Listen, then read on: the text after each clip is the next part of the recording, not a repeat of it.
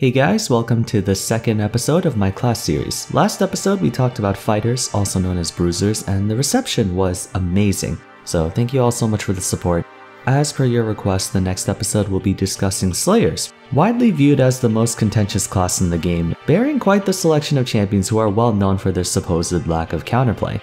If you remember in the first episode, I talked about the class trinity, tank, healer, and DPS. Fighters were a hybrid between DPS and tank class, but Slayers are the melee counterpart to Marksman, both of whom represent pretty much the epitome of DPS, and the two subclasses that make up this category are Assassins and Skirmishers. Damage in any game comes in three different forms, front-loaded, sustained, and back-loaded. Backloaded damage is when a champion or attack becomes stronger the longer the battle draws out for, so if you can't take down these types of DPS units fast enough, you're almost certainly going to get destroyed. However, they're often pretty weak at the start of a fight, which means if you can take them out quickly, they're gonna have no chance to show off their stuff. Juggernauts such as Darius, Sett, and Garen are League's backloaded damage dealers since they all have abilities that are best saved for an explosive finish. Sustained damage, as the name implies, is someone who can output the same amount of DPS very consistently from the start of the fight to the end of the fight. Even though ideally they shine best in long-lasting battles, they're not too shabby at getting the ball rolling compared to backloaded. Many skirmishers and marksmen are placed in this section, Kayn, Sylas, Kog'Maw, Jinx, etc. They're all able to hold a very solid uptime and can enter battle at a moment's notice, but they have enough in their tank to last a pretty long time. Then we have front loaded, which is commonly known as burst damage, characters who are able to dish out the bulk of their DPS right out the gate and more often than not it is strong enough to dispatch most vulnerable targets. However, front loaded units are not exactly the best at maintaining their pressure after their first rotation and generally they have to buy time for their combo to be available again. Assassins and Burst Mages occupy this category, Zoe, Annie, Talon, and Fizz. Much of the Slayer's class popularity stems from three attributes. They're almost all front-loaded or sustained damage dealers, meaning they're fast to action. More specifically in solo queue, League games are very unpredictable. A full-blown team fight can break out the moment one player on either team finds an opening or loses patience, so it pays to have someone who is ready to go at all times. Second, Slayers are not only fast in damage but in mobility. This means they have the potential to dodge certain enemy attacks that would otherwise be impossible on a slower champion. Most hard crowd control abilities are skill shots as well. Lastly, their independence. While they're not as durable as fighters, Slayers are all self-sufficient and generally need no support or backup to do their job, though of course any supplementation is always appreciated. I sort of already alluded to the difference between Assassins and Skirmishers. Assassins are bursty and Skirmishers are sustained damage. But there are two other things I want to talk about, the similarities between the two and their differences. The most notable contrast aside from their damage type is that of who they can damage. Slayers in general can get around pretty fast, but skirmishers have most of their mobility locked down to combat and don't travel very far. They don't have long range dashes or high enough tempo like divers and assassins to bypass the enemy frontline and go for their carries. To compensate for this, they're extremely good against fighters and tanks. Since most of them can shred through defensive itemization more effectively, they usually come equipped with percent health damage, true damage, armor penetration, or a mixture of all of them. And if they don't have it in their kit, they usually build items that grant those attributes like Kraken Slayer, Blade of the Ruined King, Black Cleaver, what have you. Assassins are also much more vulnerable to counterattack because they don't have as much durability nor the luxury to build most defensive items. Skirmishers can pick up a couple since they only need 2 or 3 offensive items, and their build more or less aligns with that of divers. That and they come with a lot more sustain or survival tools to protect from burst. Overall though, both subclasses perform rather poorly in teamfights if they can't single out a target, and any form of disengage or disruption can buy squishy carries enough time to lock them down and erase them before they can refocus. At this point, the idea that Slayers are among the most despised, if not the most, is like a giant elephant in the room. Everyone knows about how frustrating they are to play against, but no one sides with it because we all abused them at one point or another ourselves. In fact, despite their higher than average difficulty, Slayers make up a large portion of autofill picks. How many times have you seen a support main first time Yasuo or jungle main get autofill top and play Riven? They're certainly all very fun to play since by nature they're a very skill expressive roster, arguably the most popular one as well. Riot continues to make more and more of them, out of the past 20 new releases, Slayers comprise 8 of them. Kayn, Pyke, Sylas, Qiyana, Lilia, Yone, Viego, and Gwen. League of Legends has 7 classes and Slayers take up 40% of the past 20 champions released. Even for fighters and tanks, assassins and skirmishers are not exactly the most pleasant to face in battle, and heaven knows mages, marksmen, and enchanters see assassins as the most broken class in the game due to how helpless they make them feel. I talked about how divers and juggernauts face a lot of scrutiny with how invincible they can be, especially when ahead, but given their inherent limitations, more specifically in terms of their mobility and or damage, no one feels like they're impossible to deal with. Sure, you might run into a game where the enemy Darius 1v9 pentadunks, but you also probably see the same number of Dariuses who intend feed early game and stay irrelevant for the rest of the match. But no matter how far behind the enemy Slayer is, you just can't ignore them for even a little bit because a 3 item Talon can still probably effortlessly explode a 5 item Caitlyn. If Fiora survives into the late game, she can and will beat down just about every single fighter in the game. Something about Slayers just makes them a constant threat. Even if you do everything right in the laning phase, the ever-looming danger of them finding and exploiting even the smallest crack in your armor is what gives this class their infamy. Why does it feel like there's absolutely nothing an ADC can do if the enemy assassin gets fed? Why is it that even if you shut down Tryndamere in lane and get like 4 solo kills on him, he still 2 shots towers and beats you even when you're up a full item on him? Why is it that Slayers feel like they have zero counterplay? To answer this, let's look at some other classes and see what their key weaknesses are, as well as the tools and access the average team has to be able to capitalize on them. Tanks are known for being extremely durable and disruptive. They're the best at soaking up damage for long periods of time in order to draw aggro away from the squishy carries. But there's no shortage of ways to deal with them or even circumvent them altogether. Because tanks are generally slow and clunky, a faster champion has no trouble skirting around them. Divers are pretty good at straight up pushing through them while assassins can sneak around using their stealth or higher mobility. Also, there's a lot of anti-tank items in the game. Black Cleaver, Kraken Slayer, Serylda's Grudge, and Void Staff to name a few. Mages, fighters, slayers, and marksmen are all able to break through a tank's defense to some degree.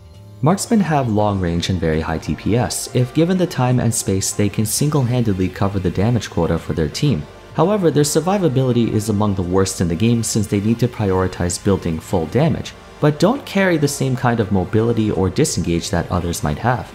Without backup, all it takes is 1 or 2 seconds for an assassin or diver to beat the living daylights out of them, and mages often carry far more burst damage or range to blast ADCs to Kingdom Come. Furthermore, there's a lot of defensive items in the game specifically tailored to stop marksmen. You have plated steel caps, which everyone knows as Ninja Tabi, Thornmail, Randuin's Omen, that item was made for AD carries, and Frozen Heart. Even one is enough to hold them at bay for the better part of a game. It's only when they reach like 5 or 6 items that armor tends to suck, but how often does a game get to that point? Lastly, fighters. Even though they're really good at absorbing damage and dishing it out, a shortcoming shared among a lot of them is their straightforwardness. They have no choice but to run straight at you. So even though it's going to take a lot of effort to bring him down, it becomes a match of which side can outlast the other. Can the bruiser finish you off before you can or vice versa? It's because they have no choice but to face any returning fire head on that things like crowd control work a lot better on them. Also, Bramble Vest counters pretty much every AD fighter in the game, so there's that. Each class has a general overall weakness that not only very effectively shuts them down, but there's also an easy or at least widely accessible way to stop them such as an item. The source of a Slayer's strength is their speed. Ah, that was a lot of S's. Assassins and skirmishers alike specialize in hitting you hard and fast, with the former being so fast that by the time you realize they're within striking distance, you're already dead. I mentioned earlier that normally all it takes to stop a Slayer dead in their tracks is with the get off me tools such as a Janna ultimate and Alistar headbutt. But considering how quick they can output their burst damage, unless an AD carry is sitting right on top of their support, it doesn't matter if you have any source of peel because they can either dodge it or snap you in the blink of an eye. This is made even more difficult to accomplish in the heat of battle. When fists are flying, swords are swinging, and everyone's mashing buttons, the carries may be too busy focusing down the enemy frontline or fighters that an assassin can sneak right behind you during all that chaos when your attention is divided. And even if you are keeping an eye out, some champions can literally reach you without you being able to see them, like Shaco, Kha'Zix, and Evelynn. Remember, all they need is not but the shortest moment, the tiniest opportunity. That is more than enough for them to get in and out. Skirmishers may not be able to hop over walls like Talon, or they won't be able to sneak into a fight like Shaco, but what they all have is some sort of defensive tool that prevents you from being able to easily respond to them. Fiora has Riposte, Master has Alpha Strike, Gwen has Hallowed Mist, Yasuo has Wind Wall, Tryndamere is unkillable, Jax is Counter Strike. These champions can all very easily engage on you while temporarily preventing you from stopping them at least with that ability. And even if you're able to bait out those attacks, you still have to deal with their overwhelming damage output. Both types of Slayers can kill you thrice in the time it takes you to kill them once. Juggernauts and some divers can't output damage fast enough to break through shields or sustain. So as long as your Soraka is spamming W or your Lulu is spamming shields, you should be able to at least hold on long enough to have a chance at beating them before they do you. But against Slayers, that may not even be a possibility. Moreover, there is practically no universal answer to stopping this class, assassins in particular.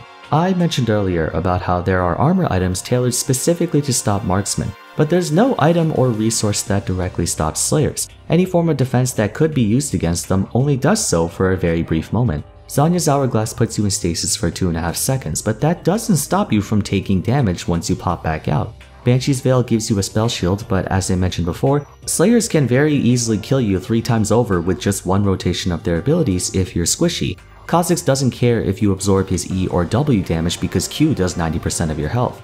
Even one-hit wonders like Fizz and Zed don't care if you absorb their ultimate because their basic abilities still do more than enough. One might argue Exhaust is a consistent way to stop assassins and skirmishers. Yes, but often champions in either subclass have ways to protect themselves for a tiny bit to wait out Exhaust since it only lasts 3 seconds, and again, you have to use it quickly since they can burst you down in a quarter of a second. The thing about Slayers that frustrates so many people is that they're the only class in the game whose counterplay is skill-based. There's no class of champions that hard counter Slayers because Assassins can bypass tanks and kite out fighters, while Slayers just chainsaw everyone so long as they're not being focused down by all 5 members of the enemy team. There's no item squishy champions can build that is constantly active, constantly in effect that deters assassins. As a mage, you have to figure out when is the best time to use Zhonya's and if you mistime it, you're screwed. As a support, you have to figure out when to use Exhaust or Locket, and if you mistime it, you're screwed. If you have a spell shield like Edge of Night or Banshee's Veil, it blocks only one attack. Assassins and Slayers might not care because chances are they still have enough damage to kill you. Also, since Assassins usually build armor penetration items, what little defense carries can build become completely worthless. Fortunately, in Season 11, Immortal Shield Bow has been released, which allows marksmen to build an anti-burst item without compromising too much on damage, but Slayers also received an item that counters that, Serpent's Fang. Now, I know for the past 12 minutes or so I made it sound like Slayers are the most broken class in existence, but the blade cuts both ways. Even though there's no 100% effective 24-7 counter towards Slayers, there's also no 100% effective 24-7 way for them to win. Slayers are the class most influenced by a player's own micro and macro mechanics, more than mages, more than fighters, more than marksmen. Even though it might sound stupid that the only counterplay assassins and skirmishers have is how bad they are, that's a really big deal. 99% of the time, the reason players are hard stuck in ranked is not because their champion is weak, but because they're just bad at the game. Slayers are by far the most useless class of champions in the hands of a bad player, because they're also the only class that doesn't have a clear goal. There is no when in doubt solution for them if things ever turn south.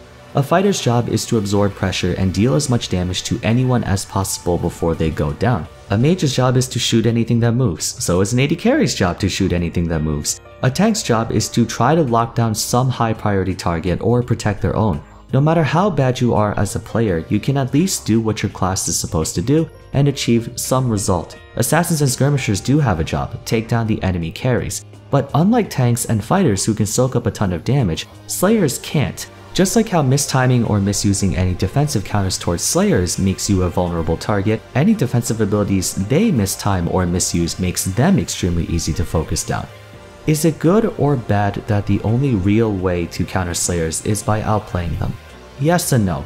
On one hand, that's how a competitive game should be. It should not be a contest of rock, paper, scissors, I beat you because I bought this item or I beat you because I played this champion. That being said, the fact that this applies to only Slayers and not every other class in the game is what makes it a bad thing. It either has to be everyone or not at all. That's why to so many players it feels like the class is zero counterplay because any counterplay that does exist is largely dependent on how careless or reckless the person playing the Slayer is and how good their opponents are at dealing with them. So, I'm sure many of you have some very vocal opinions on the class, so let me know in the comments below, what do you think? Or on the other hand, do you have a counter argument to my points? That'd be cool to hear. Although just a fair warning, I'd imagine ADC mains probably won't listen to a word you say since they have too much PTSD from getting one shot. Either way, let me know your thoughts, and just like the first episode, I'd appreciate some feedback on whether or not you like this one and want me to cover the other classes in the future.